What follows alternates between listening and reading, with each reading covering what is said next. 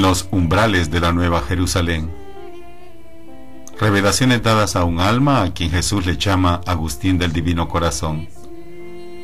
Mensajero de los Sagrados Corazones unidos y traspasados de Jesús y de María. Oración de reparación y vida reparadora. Jesús dice, Hijos míos, sois reparadores de los corazones de Jesús y de María. Vuestra oración es un ungüento sanador, un ungüento que da alivio al sufrimiento de nuestros sacratísimos corazones. Los reparadores de los sagrados corazones son pararrayos de luz, son columnas que sostendrán la iglesia. Muy pocos hablan de reparación, muy pocos hacen oración de reparación en muy pocas comunidades religiosas se vive el espíritu de sacrificio, el espíritu de mortificación.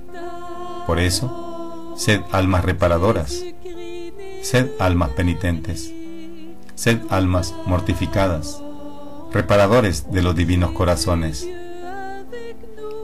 Podéis invitar a vuestros hermanos a asociarse al apostolado de reparación. Os preguntarán, ¿qué debo hacer?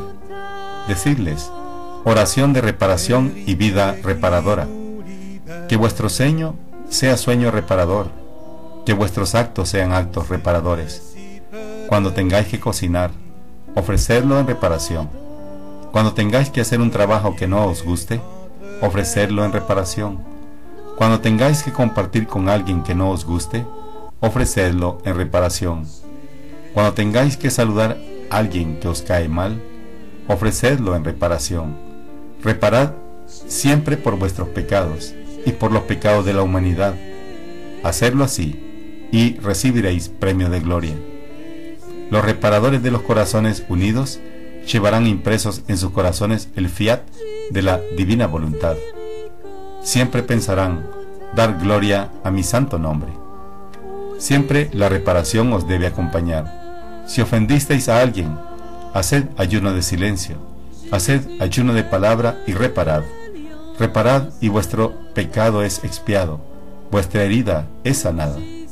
La cicatriz se os borra más fácilmente en vuestra alma. Reparad, reparad mis pequeños. Os recuerdo, reparación, inmolación. Este vuestro lema, vuestra consigna, vuestra regla y norma comunitaria. Reparación e inmolación. Llevad impreso en vuestro corazón nuestro dolor, nuestro sufrimiento, nuestra agonía porque muchos no nos aman, porque muchos desechan nuestras manifestaciones de amor, porque muchos son renuentes, apáticos a todo lo espiritual. El apostolado de reparación es un apostolado que adelantará el triunfo de los sagrados corazones. El apostolado de reparación vencerá al enemigo destruirá los planes del usurpador. El apostolado de reparación llevará a la conversión a muchas almas.